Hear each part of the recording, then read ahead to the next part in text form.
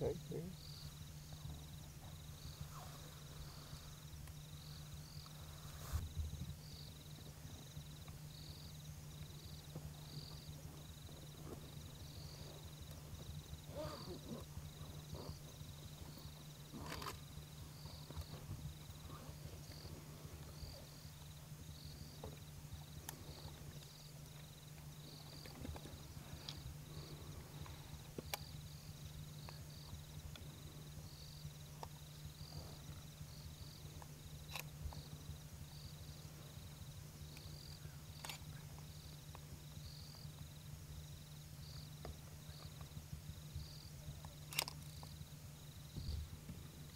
So we also have got the uh, spotted eagle owl. So this is the biggest owl here. Mm.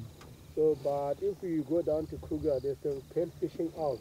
That one, that one they only eat fish. They don't eat anything except the fish. It's bigger than the giant eagle owl.